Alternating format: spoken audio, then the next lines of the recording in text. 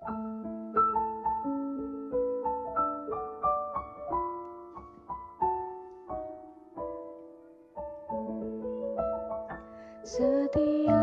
manusia